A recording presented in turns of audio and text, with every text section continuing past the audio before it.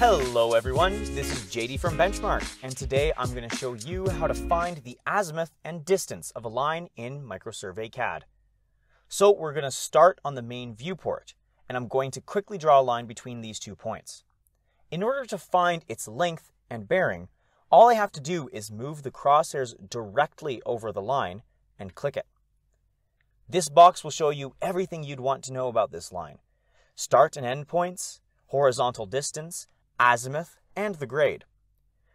Note the units of these data, meters versus feet for example, depend on your settings. These boxes at the bottom deal with calculating and creating new lines and are the subject of another video. Before we finish, I just want to show you that this doesn't just work for lines.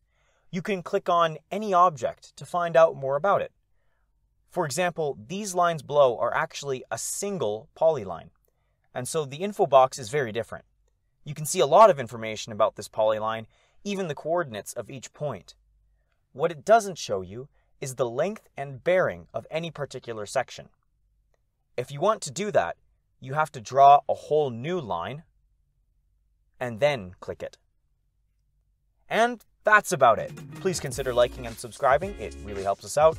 And if you have any questions about this video or about any others on our YouTube channel, please give us a call at 1 286 3204 or visit our website at bench-mark.ca.